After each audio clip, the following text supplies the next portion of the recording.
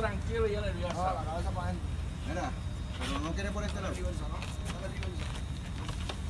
Ha hecho un pisotón de caballo está acá.